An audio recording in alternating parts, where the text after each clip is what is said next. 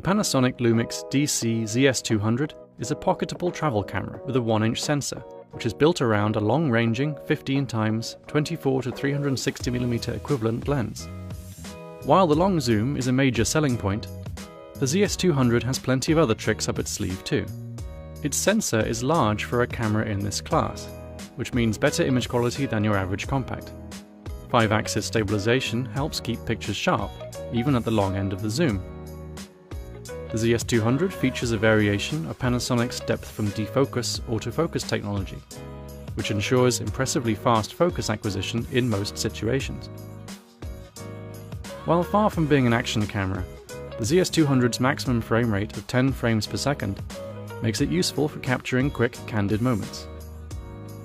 As well as 20 megapixel stills, the ZS200 can also capture 4K and HD video, and Panasonic's 4K photo feature makes it possible to shoot 8 megapixel still frames at a rate of up to 30 per second.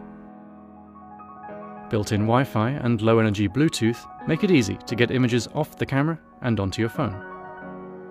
For more information about the Panasonic Lumix DC ZS200,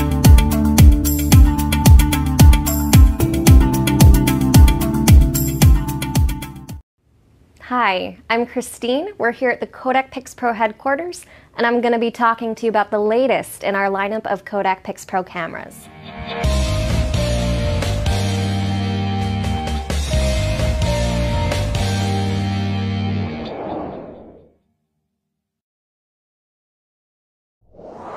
One of our most powerful step-up bridge cameras in the Kodak PixPro Astro Zoom line is the AZ652. With an incredible 65 times optical zoom lens and top-notch 20 megapixel CMOS sensor, this camera is loaded with cutting-edge features that will help you take photos like a pro.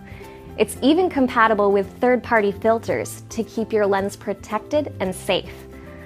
Want to step up your photo game? The AZ652 is the answer.